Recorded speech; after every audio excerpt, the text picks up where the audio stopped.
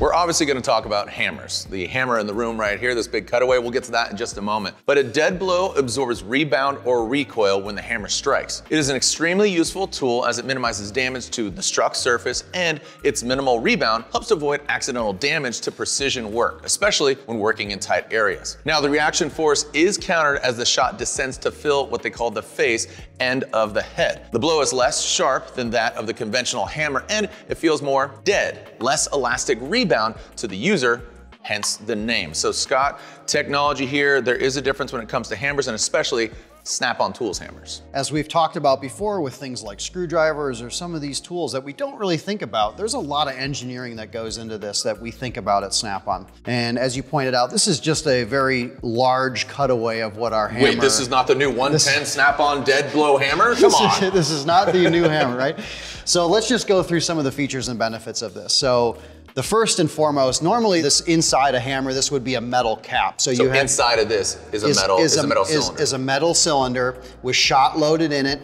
And then the handle for the hammer is then welded to this metal. And the reason we show this as a clear version is we want to show what makes a dead blow, snap-on dead blow great. And that's the free-flowing shot design. And so right in front of you, we have two different tubes. Again, rudimentary mock-up, but it's a clear tube, right? So the one you're holding is our style shot, free flowing head. So flip that over. Okay, oh. so you see how quickly that shot flows through the tube and comes back down to the face, right? Do it one more time, right? Nice and quick, okay? Competitor units take the rod and run it through the cap, all the way through the actual material, and then the shot flows around it. So I'm gonna do the same thing. I'm gonna flip it over, and I want you to watch how slow that can go. Okay, so think of it like an hourglass right? Yeah, it's gonna take a lot more time, hence the name Hourglass. I'm thinking more of like a rain stick, you know, those things you go, eh, it sounds beautiful, but is it getting the job done? The point I raise about this is it's all about efficiency. So you want that shot to transfer as quickly and as efficiently as possible from cap to cap so that when you strike something, it is delivering all the blow as fast as possible. And when it goes all the way through, it will act dead and not reverberate back to you. So that's important. It's all about precision, even something as simple as a hammer. Right. And as we're talking about efficiency, we use a very heavy duty metal cap on the end of dead blows. And we do that because it allows us to deliver 40% more blow based on the cap style that we use. And again, it's about delivering that force through. If you're hitting something, you don't want to keep hitting it, you want to hit it and be done. Yeah. Right. And, and, again, we talk about the, the user, the technician using the hammer, efficiency, grip, feel, all of that equates to how long because there's some technicians that have a hammer in their hand all day. And another really unique feature to ours is we use a composite shaft in the handle. And the reason I bring that up is because it's composite, it's very lightweight. Our competitors use a steel rod and why that's important, number one, is for the user and fatigue, right? So you're gonna get less reverberation from a composite material. It's gonna absorb that shock. And it's also for weight. Let's talk about the ball peen technology here. What do we have? And this is what's really cool. Again, we use a high grade steel case with these heavy duty steel end caps, again, delivering the blow where you want it. But what's unique about ours on the ball peen is, is that where we attach the handle to the actual hammer head surface, this is a free floating design and that's important because it takes the reverberation out of the ball peen. So when you strike something, if this was welded to it, you're gonna feel that come down through the handle, into your hand, and up into your elbow. When you make it into a sliding sleeve, and you sort of divorce it from it being welded to the head and then you encase it in this thermoplastic. This will allow you to efficiently deliver your blow and not have the reverberation. So there's a really cool slow-mo video we'll put on screen that shows when you strike with a ball peen, one of our ball peens,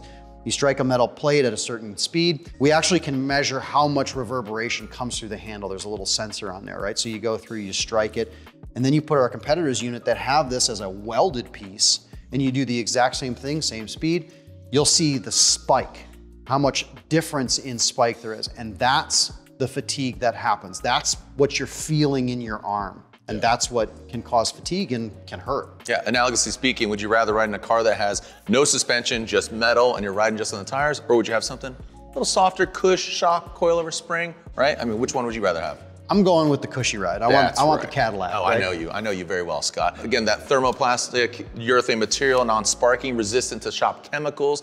But uh, let's talk about Because there's a variety of hammers. We don't have them all up here, but what are our sizes, both dead blow and ball peen? Right, so on the dead blow side, we have 16, 24, 32, 48, and 56. So nice variety. The 56 for doing your big jobs and you've got the 16 for doing your small jobs. Then we jump over to the ball peen side. We step one more down to an eight ounce because sometimes you are doing some precision work, right? So maybe you're running a punch or a chisel or something like that and you're just doing a little bit of finesse work. So we go down to eight here, but then we step up 16, 24, 32, 40, and we have a brand new 56 ounce. Technicians asked us for something even heavier because there are some of those jobs, especially in heavy duty shops, where you really need to deliver a blow. So we brought out the 56 now. And this is just the dead blow, the ball peen, showing you the technology. We have a lot of specialty hammers for technicians as well. Right, so we have piston driving hammers. So if you do a lot of engine work, this will allow you to drive pistons into cylinders without damaging anything.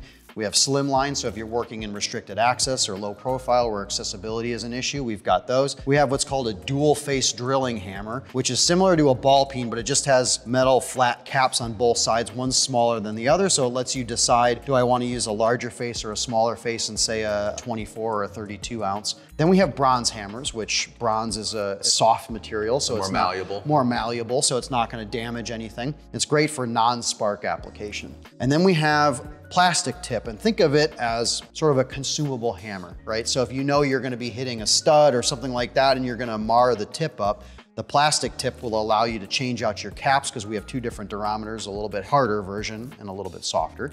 So you can change those out as they start to wear out. Picking this thing up, 56 ounces of dead blow hammering, right? But uh, it's got a nice soft grip to it as well. This is really interesting that our engineering department even went to a very exhaustive length to get the right durometer. We have tried to match the durometer of your hand, the palm of your hand, to the actual soft grip. So what that means is, is that when you put it in your hand, it feels really nice. You know it's not gonna slip. You can grab a nice hold of whatever hammer you have, especially the 56, and have confidence that's not gonna slip. That's important when you're throwing something Yeah. around. Different solvents, different chemicals on your hand. This is great. Well, the jury has spoken. There's a new judge in town. No more Judge Judy, no more Judge Wapner, not even Judge Springer.